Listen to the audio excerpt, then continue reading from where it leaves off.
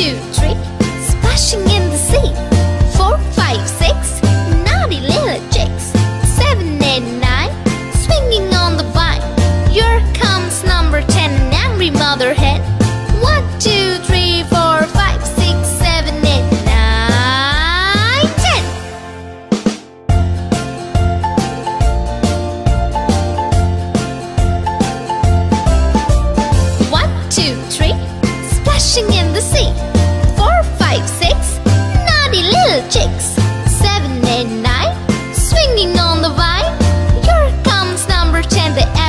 another hand.